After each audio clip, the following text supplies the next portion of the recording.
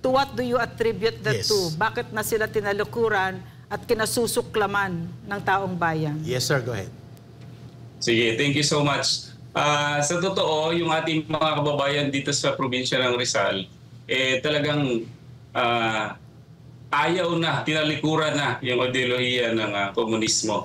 Sa every time na pupunta sila sa ating mga communities, eh napaparating agad-agad sa kasundaluhan. Tama. Ah, November 20 lang ako nag-assume. And there are already five instances na pinilit nilang pasukin yung community Mm. nakarating sa information.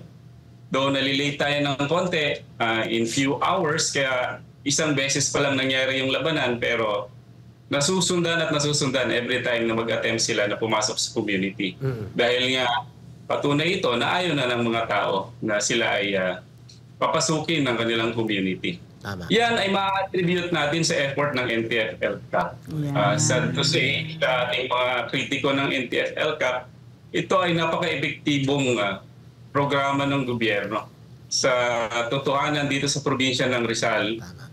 And even yung mga NPA na nag-surrender, they can attest hirap na hirap ang hukbo dahil sa programa ng NTF-ELCAP. True.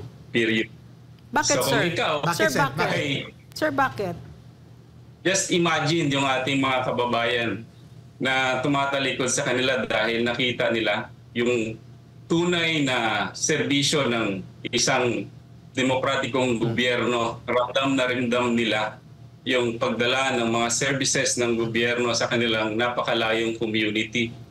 Wala na silang rason kung bakit tangkilikin pa yung kabilang side na iba yung binebenta sa binebenta natin dahil kontento na sila sa ating gobyerno na sa mga programa na dinala ng NTF-ELCAP, yung convergence ng lahat ng ehensya ng gobyerno, nakita na nila at naramdaman na ng mga tao.